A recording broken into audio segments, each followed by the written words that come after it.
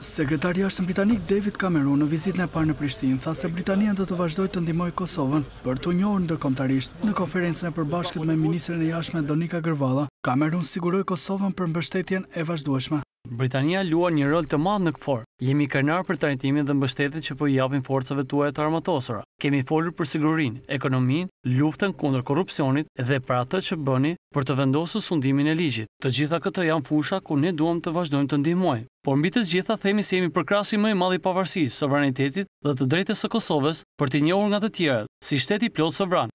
Ndërsa ministrja e Punëve të Jashtme dhe Diasporës, Donika Gërvalla, tha se Kosova e sheh Britaninë si partnere të rëndësishme në NATO, aty ku synon të anëtarësohet. Ministrja Gërvalla vendosi theksin edhe tek migrantët shqiptarë në Mbretërinë e Bashkuar, për të cilët tha se janë pjesë e rëndësishme për të dy vendet. Që Kosova është pjesë e Perëndimit, për këtë nuk ka asnjë dilemë. Pra Perëndimi ka nevojë për një strategji të re, pasi ajo e vjetra është duke perënduar.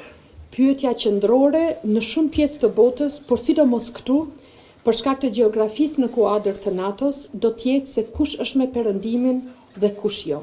Cameron u prit edhe nga presidentja Vjosa Osmani. Në njoftimin e publikuar nga Presidenca, thuhet se Kryetarja e Shtetit ritheksoi rëndësinë e anëtarësimit të Kosovës në NATO, duke filluar me përfshirjen në Partneritetin për Paqe, si hap i domosdoshëm për të siguruar paqe dhe siguri afatgjatë në rajon dhe më gjerë.